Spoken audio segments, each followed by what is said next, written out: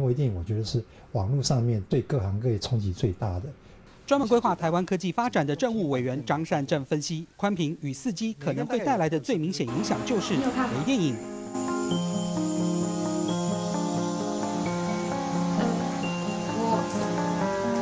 我我等下去找你啊，拜拜。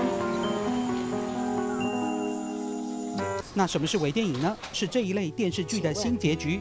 李大人跟陈幼卿是什么关系？一家人，二夫妻，三好朋友。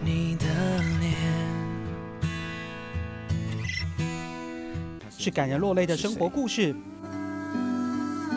时而清醒，时而病发。早已超出我照顾的能力，还是这种让人耳目一新的宣传影片。哎，祖先说你的名字。哦，Hello，我叫 Mac。Mac，马个咩呀？好好耶孙呢，两行都马个摸呀。倒不是说消费者突然之间喜欢一个什么叫做微电影的东西，他们根本搞不清楚什么叫微电影。他不是为了要看微电影而看微电影的，他是因为我手头上有五到十分钟的时间。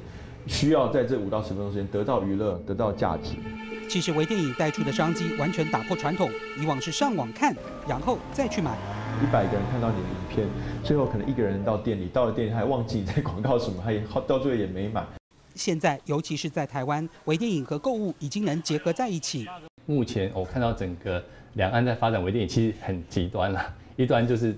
真的就在往真的电影的产业在发展，一端就是往广告的新的沟通方式发展。在大陆来自很多的创投，为什么要投入微电影？其实他们讲的投资小，获利大。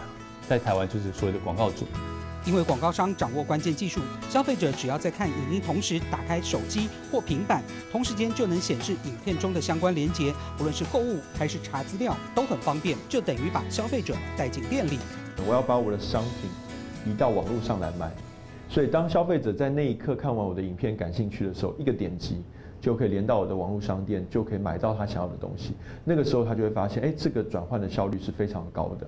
无论是你对某个明星、某个节目，你还有深入的资讯想要了解，都可以透过这个第二荧幕，它就会产生非常多的微商机。除了全新商业模式之外，微电影还能提供口耳相传式的影响力。像捧红阿喜的导演就说，微电影真的好用，又不太花钱。那大概五万多块，顶多十万块，对。但是，OK，好，点阅率可能可以可以到达五十万、一百万、两百万。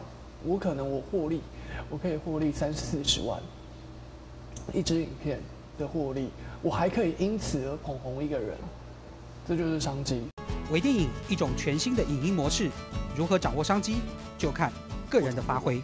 相同的选择。